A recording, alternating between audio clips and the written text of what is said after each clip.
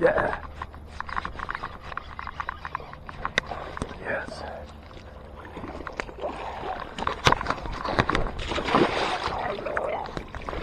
Yeah.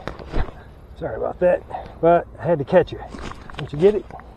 It's my job. All right. It's my job, dude. All right.